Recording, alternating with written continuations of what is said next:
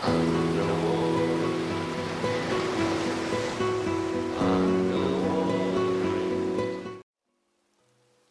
hallo, herzlich willkommen zu einer neuen Folge Animal Crossing New Horizons mit mir, dem Anna Wolfschenk. Ich wollte euch heute mal zeigen, ähm, ja, wie man sozusagen Tarantula Island bzw. Skorpion Island, nenne ich meine Insel mal, weil ich spiele südliche Hemisphäre. Also ich habe alles geklärt, alles, die ganze Insel geklärt, habe alles jetzt hier auf den Strand gelegt. Und ähm, ja, wir müssen jetzt die Insel, also ihr müsst halt das Unkraut könnt ihr, glaube ich, drinnen lassen. Die Blumen nur pflücken, drinnen stehen lassen. Die Bäume müsst ihr mit der Axt abhauen. Mit der Axt abhauen.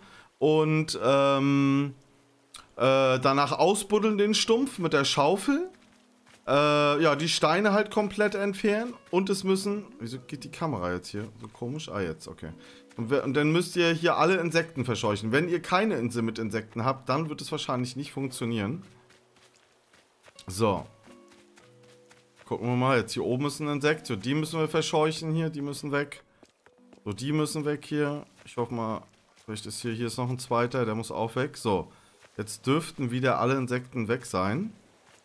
Jetzt, ah ne, hier sind noch zwei Insekten. Es kann hier auch im Wasser mal so eine Wanze sein, ne? Das zählt auch als Insekt. So, ich laufe wieder zurück.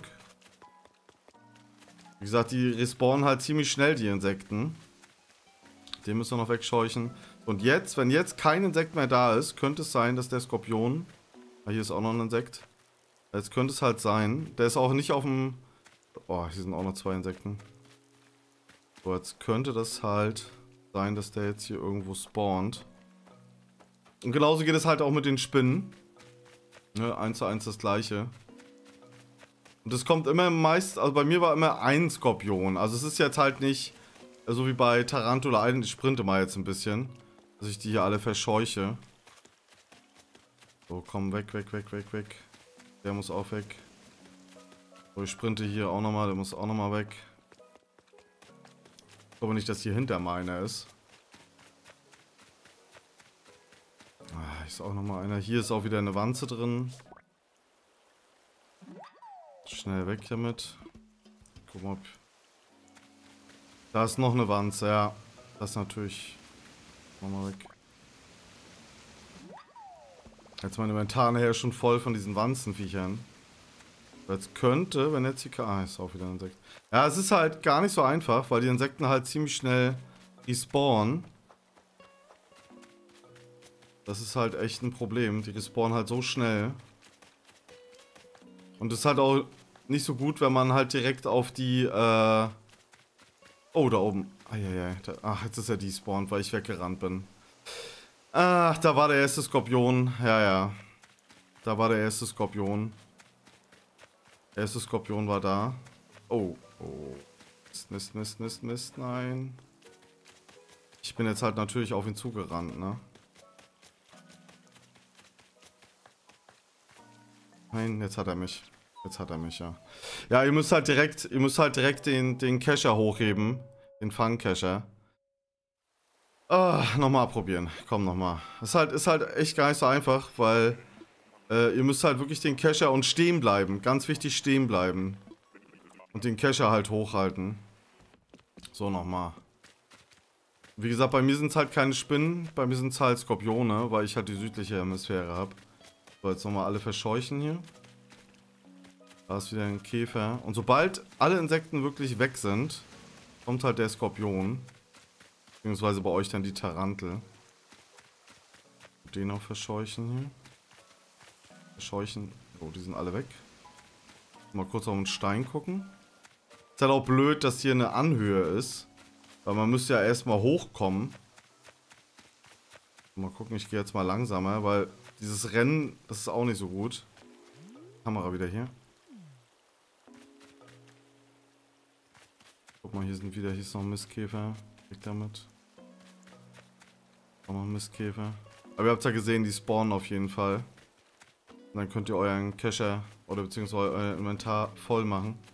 Mit den Skorpionen. Weil die respawnen dann immer wieder, bis der Cacher voll ist. Jetzt müssen wir halt schauen, ob hier nicht wieder eine Wanze im Wasser ist. Und auch wieder Insekten. Ja, ist halt gar nicht so einfach. Und, die, und jeder Skorpion ist genauso viel wert wie eine Tarantel, also 8000. Da sind halt beide, 8000 sind beide genauso viel wert. Haben wir hier irgendwo noch eine Wanze? Ne. Jetzt scheint es erstmal... Ach doch, hier ist eine Wanze. Ich dachte, ihr könnt das ja auch im Inventar tauschen. Ach, jetzt ist der Cache kaputt. Naja, gut. Jetzt müssen wir nochmal zum Dings. Warte. Mal zum Spawn. Natürlich der Cache kaputt. So, wir brauchen jetzt hier erstmal. Habe ich noch, habe ich noch Zweige? Hier irgendwo noch Zweige? Ne. Gucken wir mal die Zweige nochmal. So, die Zweige hier. Ist halt echt gar nicht so einfach, ne?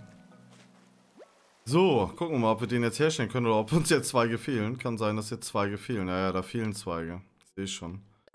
Ja, dann müssen wir hier, äh, kommen wir hier bei ihm hier, können wir einen Wackelcacher kaufen.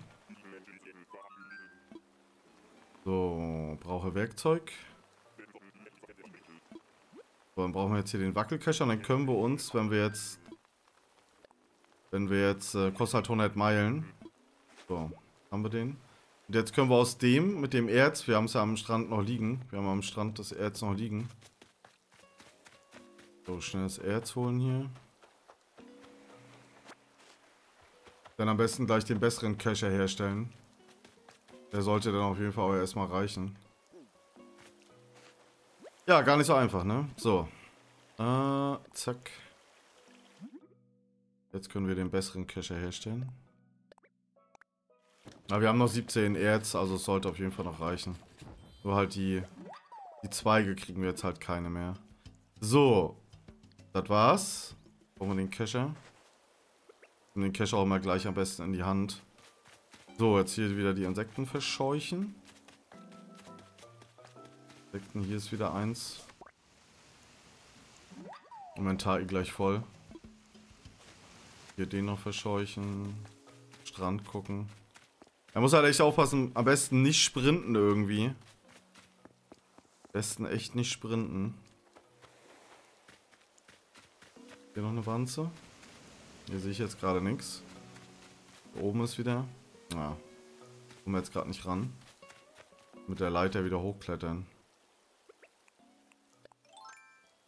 Ich dachte, hier oben können auch äh, Skorpione spawnen, aber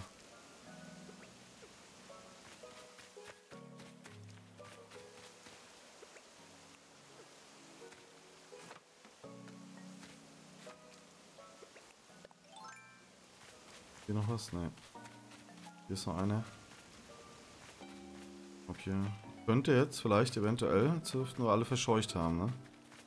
Eigentlich haben wir jetzt, glaube ich, alle verscheucht. Sehe aber noch keinen. Noch sehe ich keinen. Hier oben ist wieder Insekt. Auch eins. Komm hier weg damit. Der ist auch weg.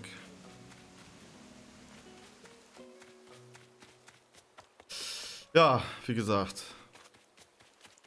So einfach ist das nicht.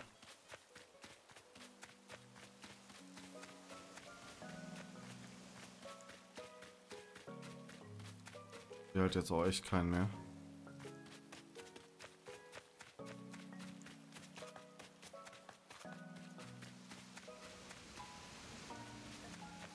Ist ja echt gerade.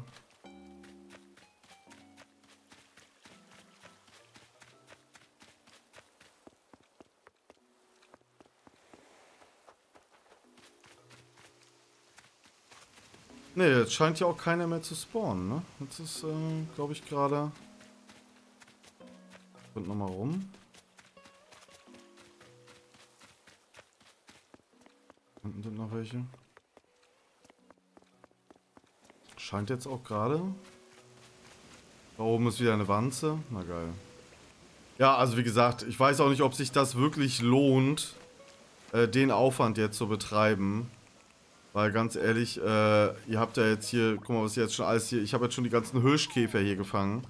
An den Steinen, ja, da hätte ich lieber mal den Kescher mal hier voll machen sollen, hier mit Hirschkäfern, ne? Weil die sind halt auch 6000 wert. Und die sind ja zum Beispiel an den Kokosnüssenbäumen äh, gespawnt. Ne, deswegen, ich weiß halt echt nicht, ob sich das hier mit den Skorpionen da wirklich so lohnt. Da ist ein Skorpion. Jetzt haben wir ihn. So, ich gehe mal auf ihn zu. Weil jetzt zeige ich euch das mal, wie ihr den fangt. Wartet. Er stellt sich gleich auf. Er stellt sich gleich auf. So, jetzt stehen bleiben. Stehen bleiben. Ihr müsst aber den Kescher oben haben. Jetzt wieder auf ihn zugehen. Stehen bleiben. So. Dann wieder ein Stück weiter gehen. Stehen bleiben, bis er wieder die... Seine, seine Vorderpfoten da, seine... Dings runternimmt. So, jetzt könnten wir, glaube ich, schon fast cashern. Da haben wir ihn. So, da haben wir den Skorpion. Läuft. Äh, ich muss mal gucken, kann ich hier ein Bild machen? So, jetzt sind natürlich hier wieder auch Käfer gespawnt. Die verscheuchen wir natürlich wieder. Jetzt haben wir einen Skorpion, ne? Also... Oh, das ist... Nein. Ah. Mist. Ah. Da sind wir... Deswegen, wenn man die halt nicht sieht äh, und man steht zu dicht dran, ne? Dann ist das halt echt schwierig, ne? So. Aber wir haben ja alles behalten, ist alles gut. So, mal gucken, ob jetzt schon von sich aus Skorpione gespawnt sind. Oder ob jetzt... Weil, weil bei Tarantula Island ist ja wirklich so, da sind ja eine Menge äh, Taranteln, ne? Ja, man darf der halt auch nicht zu nahe kommen, den Skorpionen, ne? Man muss... Das ist halt echt gar nicht so einfach hier. So, die fliegen weg. Weil es halt hauptsächlich wirklich nur Insekten hier. Ob wir den hier irgendwie wegkriegen hier. Kann auch sein, dass die Skorpione einfach nach und nach spawnen. Das kann auch sein. Dass die einfach äh, mit den normalen Insekten dann zusammen spawnen. So, mal gucken. Mal einmal um die Ecke rum. Das Ding ist, man, man sieht es halt auch nicht immer so gut. Ich guck mal, ob ich hier... Weil wenn wir jetzt zum Beispiel runtergehen, sind wir ja eigentlich schon fast zu dicht dran, ne? Wenn er jetzt unter uns wäre. Könnte jetzt so, aber... Ja, das bringt halt auch nichts, ne? Ich glaube, man müsste hier einfach nur warten. Bis sie dann nach und nach spawnen. Hier ist auch noch ein Käfer.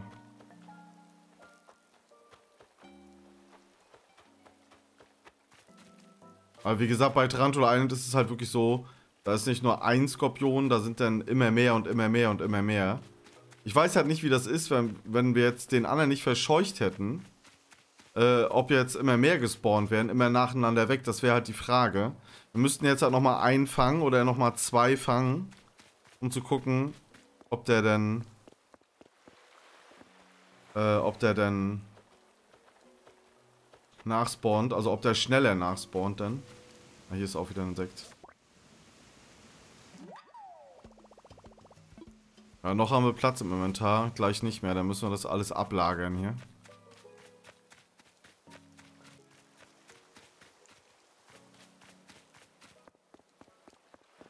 Hier ist noch eine Moräne. Ich gehe jetzt mal Stück für Stück weil wenn die uns angreifen, da kriegen wir... Ist halt echt schwierig, den Skorpion dann zu fangen. Wenn die uns schon angreifen.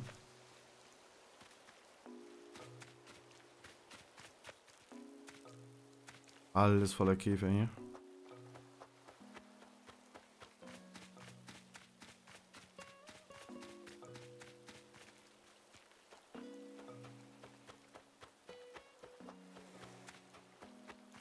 Nochmal Käfer.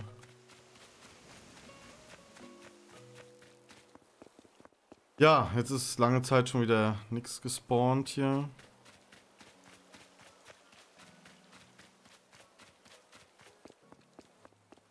So, mal gucken, ob jetzt irgendwas wieder spawnt. Da sind jetzt drei Käfer.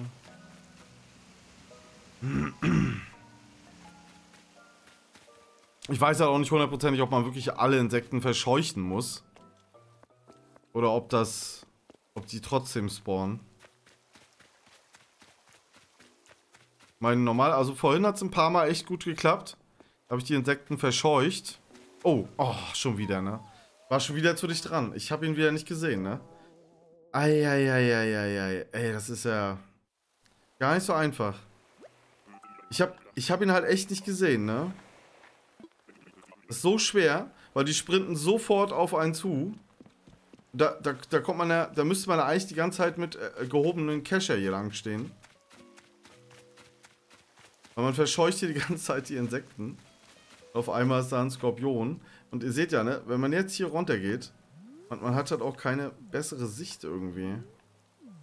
Dass man irgendwie das unten besser sehen kann. Man kann die Kamera auch nicht drehen. Ja, das natürlich. Deswegen am besten ist immer, wenn er über einem irgendwo spawnt. Man hört ihn halt auch schlecht, ne? Also ich habe mir jetzt auch nicht wirklich gehört eben gerade, dass er jetzt auf mich zukommt. Also man kann ihn auch cashen, wenn er gerade auf einem zuläuft, aber das ist echt nicht so einfach.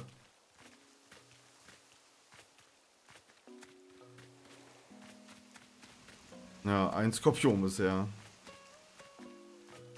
Aber ihr seht auf jeden Fall, die spawnen immer wieder nach, ne? Also man könnte rein theoretisch schon den Inventar voll bekommen mit dem. Aber ist, glaube ich, ganz schön zeitintensiv.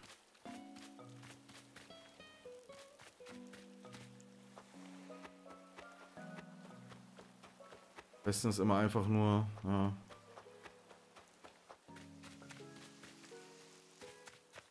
Weil wenn er hier zum Beispiel spawnen würde, den würde ich ja nicht mal sehen, ne? Hinter dem Berg.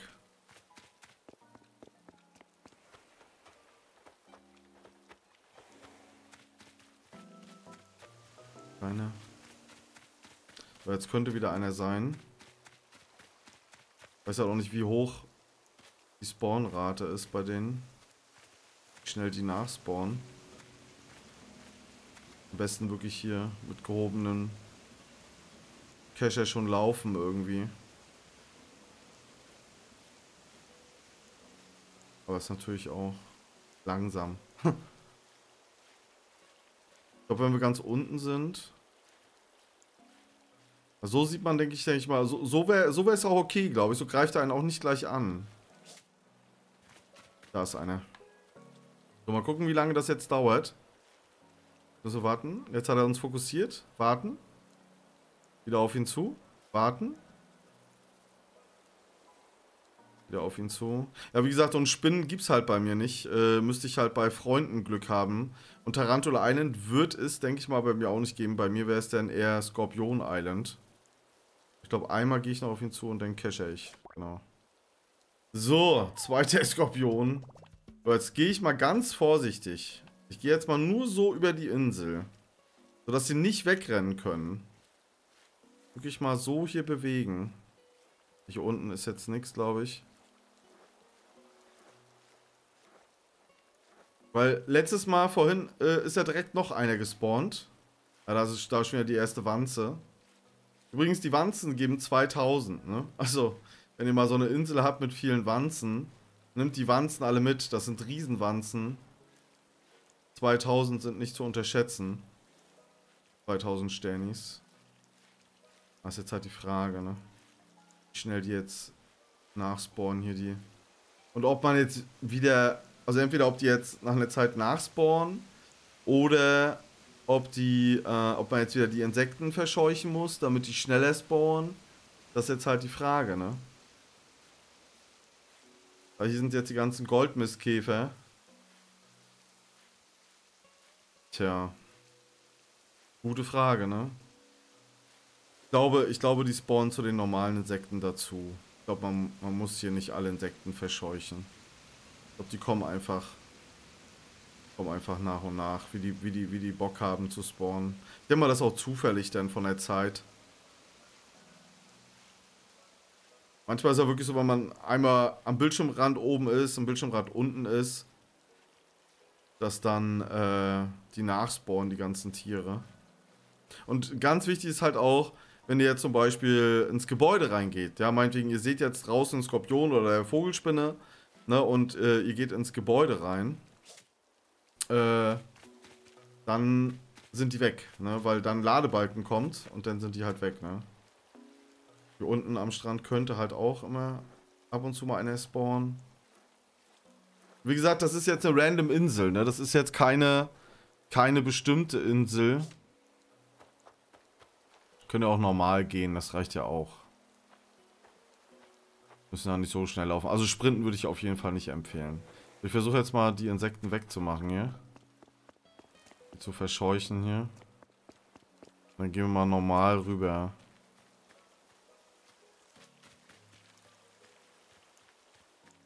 Ich bleib mal jetzt hier stehen. Ja, jetzt haben wir einen erfolgreich weggemacht, aber bisher ist noch keiner nachgespawnt hier. Da sind wieder die anderen Insekten.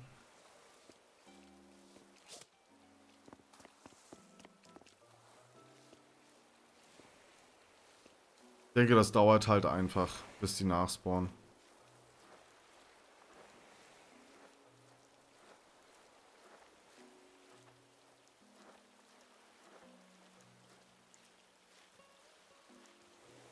Ich glaube, hier ist jetzt auch keiner. Der, der Goldkäfer. Ja, gut. Aber ihr habt es auf jeden Fall gesehen. Ich, ich guck mal, ob wir noch einen kriegen hier. So, hier gehe ich lieber vorsichtig.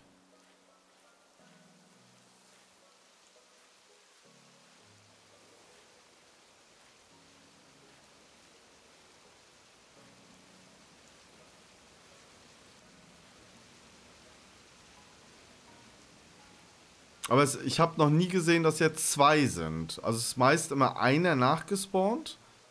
Aber dass jetzt zwei, also dass ich zwei gleichzeitig gesehen habe, habe ich noch nicht gesehen.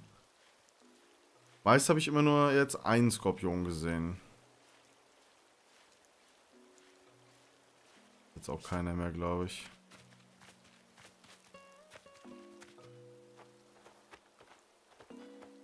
Ja. Oh, da ist ein Skorpion. Na, geh nicht weg. Der ist noch da, der ist noch da, der ist noch da. Gott, hier ist das ganze Zeug. Ja, also ist wirklich immer fast immer nur einer denn da, ne?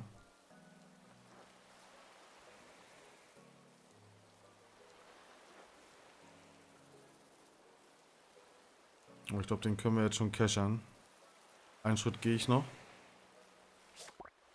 So, haben wir jetzt drei Skorpione. Und wie gesagt, ein paar haben mich ja noch gebissen. Wie haben wir jetzt hier? Drei Skorpione, ja. Guck nochmal einmal kurz. Wie gesagt, da muss halt echt vorsichtig sein, weil die sofort einen angreifen, sobald man denen zu nahe kommt. Der war ja zum Beispiel auch am Strand.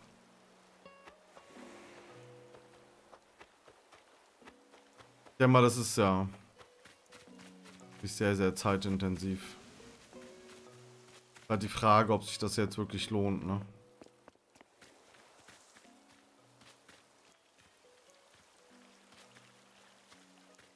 Ich guck mal gerade nochmal was.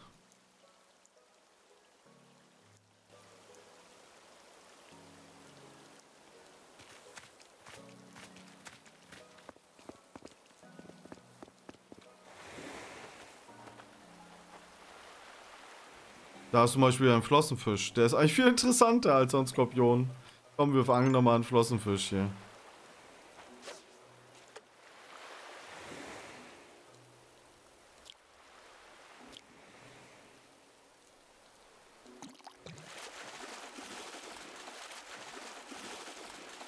Ja moin, 15.000 Silber. Ah! Ja, läuft, ne? Dann nehmen wir noch lieber sowas mit, oder? Das war jetzt schnell gemacht. Und vor allem, der, der ist, der ist 15.000 Silber wert. Den habe ich schon einmal gefangen. Den habe ich schon einmal gefangen. Und das heißt, ich kann ihn jetzt verkaufen. Ich, ich, ich mache das immer so, dass ich... Ähm, ja, jetzt müssen wir tauschen. Ich mache das immer so, dass ich... Äh, warte mal, nehmen wir hier... Geht das weg hier.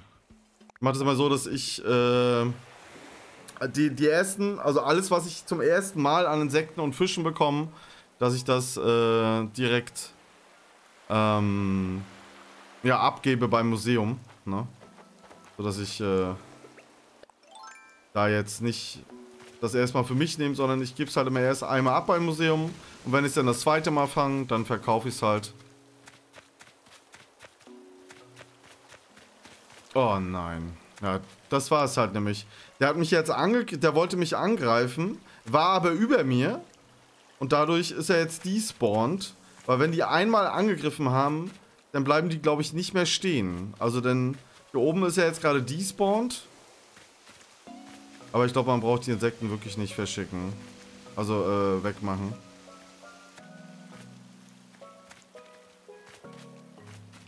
Ich glaube, die kommen automatisch. Man, man kann es als kleine Aufgabe sehen, dass man die wegmacht. Aber ich glaube, ist jetzt nicht zwingend erforderlich, dass man jetzt genau immer alle Insekten weggemacht haben muss. Ich glaube, oben war auch wieder eine Gesichtswanze. Äh, so eine Riesenwanze.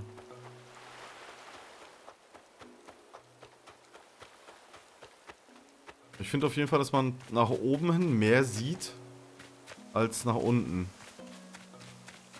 War hier eine Gesichtssache? Hier oben ist eine, ja, die müsste ich auch wieder wegmachen. Gut, aber ich würde es erstmal sein lassen. Ich gucke hier rechts nochmal einmal ganz kurz. Aber ich glaube, hier ist auch nichts. Gut, auf jeden Fall, wir haben drei Skorpione gefangen, ein paar haben wir verscheucht, aber wir haben guten Hai gefangen. Also denkt immer dran, die Fische mit Flosse, das sind die interessanten. Alles klar, vielen Dank fürs Einschalten, euer Anne Waterfring. Tschüss.